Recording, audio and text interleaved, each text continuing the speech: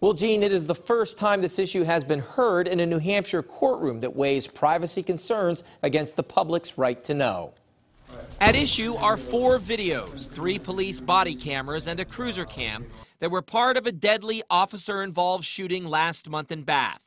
Authorities say two Haverhill police officers fired at Hagan Esty Lennon, a father of two young children, as he lunged at them with a knife.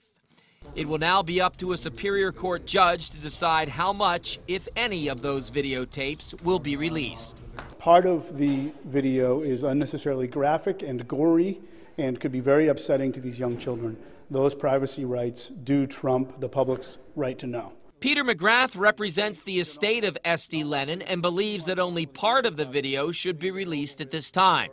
The Attorney General's office has released still photos of the encounter, pictures that show Esty Lennon with a knife in his hand before he was shot, but after officials say he suffered what appeared to be a self-inflicted wound. The AG's office believes the family's wishes need to be weighed in terms of releasing the video.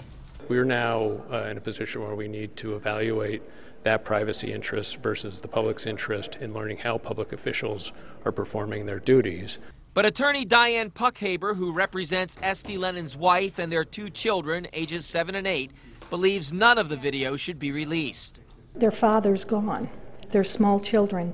And regardless of what's in the video, it is difficult for them. And the, the harm to them could be irreparable. And we're asking for consideration and sensitivity and don't believe that there's a need to have this in the public domain. Judge Peter Fauver reviewed the videos today in chambers and will schedule another hearing to discuss what to do next. Reporting live, I'm Andy Hirschberger, WMUR News 9.